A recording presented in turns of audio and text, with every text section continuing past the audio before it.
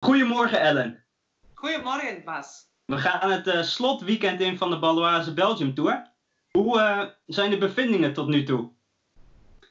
Um, ik ben, uh, ja, alles gaat goed denk ik. Ik ben van, als, een, als een pijl uit een boog van start gegaan met mijn eerste plek. En dan heb ik wat gas teruggenomen met mijn team.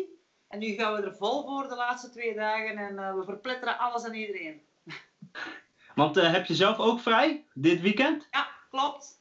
Ik heb vrij. Uh, en er staan uh, ja, nog twee uh, mooie ritten op. Eentje offroad en eentje op de weg. Dus uh, ja, ik heb... Want volgens, want volgens mij sta je nu derde bij de, in het Lotto Vrouw klassement. Dus zit er nog een plekje opschuiven in?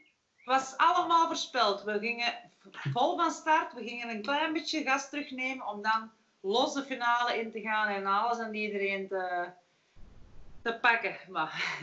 Dus dit, is, dit was allemaal tactiek? Het was allemaal tactiek dit? Ja, het is vol tactiek. Uh, dat is zo in koers, dat is zo in cross. Uh, dat de beste mogen winnen. Een tactisch plan is ook best wel belangrijk. Maar uh, ik, natuurlijk kan ik niet alleen over mezelf spreken. En moeten de intenties ook bij mijn teamleden zijn. Maar ik denk dat iedereen er nog wel eens vol voor zou willen gaan en kunnen gaan de twee volgende dagen. Dus eigenlijk alle knechten weten al wat ze moeten doen dit weekend?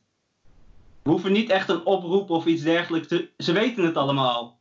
Het is allemaal in kan en kruik. Het komt volledig in orde. Ik heb er 100% vertrouwen in. Nou, dan, uh, dan kunnen we het ook hierbij afsluiten. Veel fietskilometers dit weekend? Zet hem op, team Ellen. Ja, absoluut. Dat is mijn laatste, mijn laatste pep talk voor mijn team. Uh, losgaan. Um, ja, en zo goed mogelijk uh, ja, deze op een mooie manier afsluiten. Ja. Maar ik heb er alle vertrouwen in. En genieten van het mooie weer.